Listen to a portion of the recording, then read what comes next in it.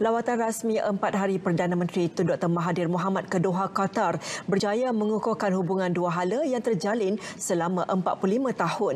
Kedua-dua negara bersedia menjalin kerjasama lebih erat dalam sektor pendidikan dan ekonomi sekaligus membawa manfaat besar kepada Kuala Lumpur, Doha. Kamal Firmansyah Kamaluddin ada butirannya.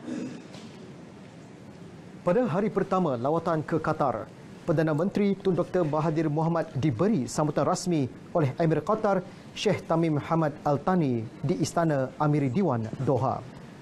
Kedua-dua pemimpin itu mengadakan pertemuan membincangkan mengenai isu-isu semasa serta perkembangan sidang kemuncak Kuala Lumpur yang bakal berlangsung 19 hingga 21 Disember ini. Kedua-dua pemimpin turut menyaksikan majlis menandatangani memorandum persefahaman penubuhan jawatan kuasa bersama peringkat tertinggi kedua-dua kementerian luar. Perdana Menteri Tun Dr. Mahathir Mohamad menerima dua anugerah utama sepanjang lawatannya. Beliau menerima ijazah kedoktoran kehormat dalam bidang falsafah oleh Universiti Qatar yang disampaikan presidennya Dr. Hassan Al-Dirham. Selain itu, Tun Dr. Mahathir juga menjadi penerima pertama anugerah Forum Doha di Qatar. Ia disampaikan Emir Qatar Sheikh Tamim Muhammad Al Thani sempena Forum Doha 2019. Tun Dr. Mahathir Mohamad mengambil peluang menghadiri rundingan meja bulat bersama pemimpin industri Qatar. Jelas beliau, Malaysia merupakan destinasi pelaburan menarik untuk syarikat Qatar.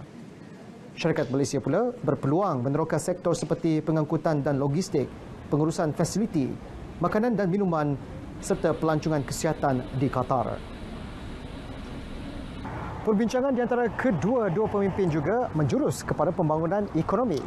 Sesi perjumpaan dan perbincangan bersama dengan pemimpin tertinggi juga pemain industri menunjukkan bahawa kedua-dua negara mampu menawarkan kepakaran dalam sektor-sektor yang berpotensi ini akan lagi mengukuhkan hubungan dua hala sekaligus memberikan manfaat besar untuk tempoh jangka masa panjang untuk Malaysia dan Qatar.